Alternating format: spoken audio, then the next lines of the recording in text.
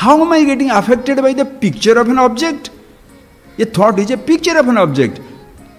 With the picture of the snake, you are not frightened. With the picture of the, the picture of the tiger, you are not frightened. So the thought is the picture of the object. Why does the thought bothers you? Like a child. The child will not touch the picture also. A snake. What the mommy says, no, this is not a snake. The mommy is touching, touching. It's a picture. It is not the snake. A thought is not an object. Why are you getting affected by the thought as though it is an object inside? Oh my God, this is the mistake. When I get the object, the thought goes away. Thereafter, what happens? I am with myself. So this mechanism you have understood very clearly. So that's something. What should we do? How much you should pay for being with your thought or not to be with your thought? What is the money required? What is the money required?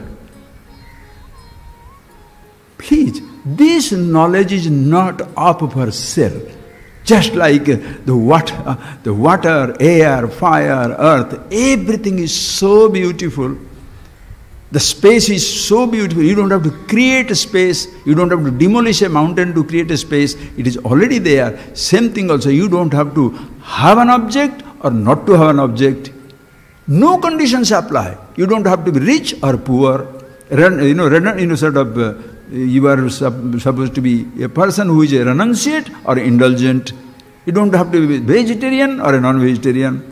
Follower of this religion, that religion, a man or a woman, no conditions apply. That is yourself. You can't pay for it.